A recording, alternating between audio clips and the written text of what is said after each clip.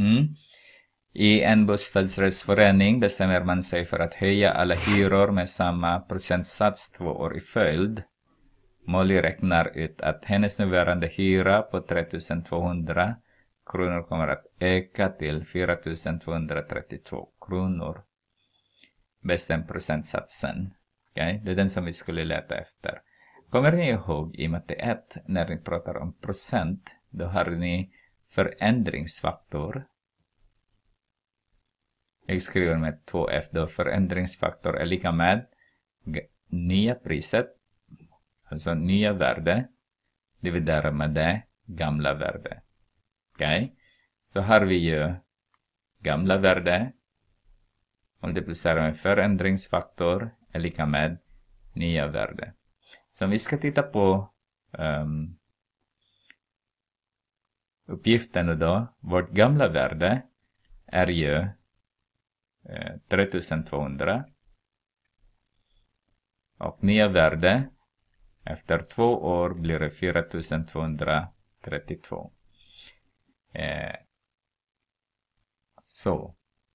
Och då, eh, förändringsfaktor vet vi inte, det är den som vi ska leta efter. Men det ska vara två år i rad. Okej? Okay? Så har vi 3200 multiplicerat med första året, det vet vi inte det. Andra året är lika med 4232. Den här är ju upprepande eh, förändringsfaktor som vi har haft innan. Eh, då blir den här, om vi dividerar båda led med 3200, 3200, så har vi x upphöjt till 2 är lika med, om vi tar vår miniräknare, 4232 dividerat med 3200 så får vi 1,3225.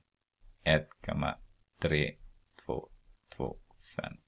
Tar vi rutan ur till båda så har vi x är lika med. Jag går tillbaka där. Tar jag rutan ur till båda så får jag 1,15.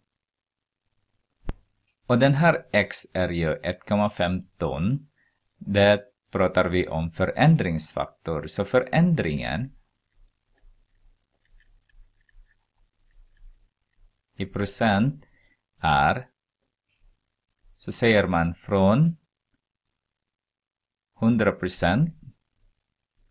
Den har ökat med 15 procent. För att få den här xet i procent. Den här är 115 procent. Så från början det är 100%, det, det gamla värdet. Den här är vår, 100%. Och den här är våran, 115%. Så det betyder att den har ökat med 15%.